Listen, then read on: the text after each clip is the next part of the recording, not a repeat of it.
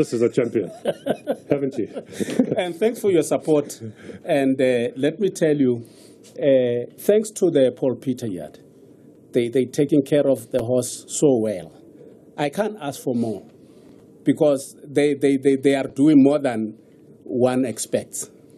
But having said that, uh, I dedicate this win to South Africa, especially, let me say, the judiciary of this country. I think the judi- judiciary is, is doing a wonderful job, and the, the, the Zondo Commission. Uh, lawlessness is threatening.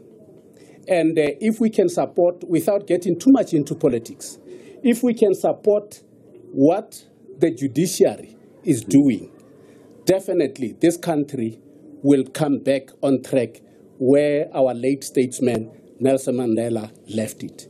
Because now we are going quite completely out of the way. So my pray, I'm praying that things must go back to order. I'm dedicating this victory to, to, the judiciary because they are doing a wonderful job. There is nothing wrong that I see them doing. But coming back to racing, I support everything. The commentators, the presenters like yourself, you, you, you, you, you, you, you, you, you, you, you giving us the energy that we didn't have. So the motivation that you are giving us is the one that keeps us going. And thank you very much. And that young man, I've got that young man again. I don't know whether you'll give him a Yes, slot to at least say a Yes. word or two. I loved chatting to him last time. Let's get it. Please. Thank you very Thank much. Gale. uh, What a pleasure. Always Thanks. a pleasure. Please Thanks. step in. Young man, please come and have a chat. I know that uh, the whole family is now, just going to wipe this for you as well. The whole family is now on horse racing, which is wonderful. And your dad's a great uh, spokesman. Let's uh, hear what you have to say about this horse. And how's the family enjoying this? Um, I don't think I can just uh, give it to you as it is. It's it's just beyond. Uh, but one thing that um, that I would like to say is that MK's Pride has given us more than what we had anticipated. By far, there is no measure beyond that. Like there is, there's nothing. And um, also, on top of that, uh, I believe there are three factors which I find are inextricably intertwined when it comes to a horse that can deliver. The first thing, I would give it to the trainer, that's uh, Mr. Paul Peter.